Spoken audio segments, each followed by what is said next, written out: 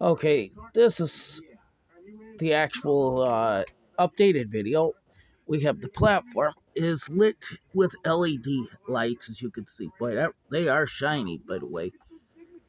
That's all natural lighting right there, kind of similar to what I'm using in the basement. This platform I bought in 1988. Its original lights were no good. I put in new ones in 89 and uh, the wires got brittle and the freaking bulb, one of the bulbs burned out and I just removed them all today. And that will be put back in its spot after I drill a hole to run some wires. So that's what's going on. Thank you for watching.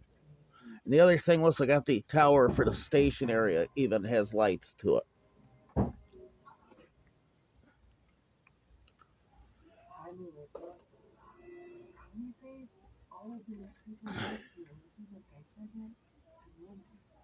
See?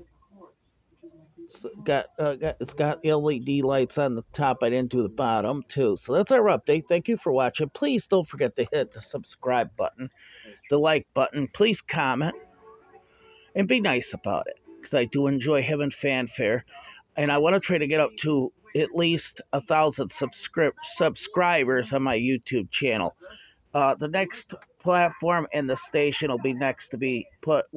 Uh, we'll have LED lights put in them, so make the layout look really good. By the way, then there's gonna be the building, the rest of the buildings on the layout will be getting the same treatment. So thank you for watching. Please do not forget to hit the subscribe button, hit the like button.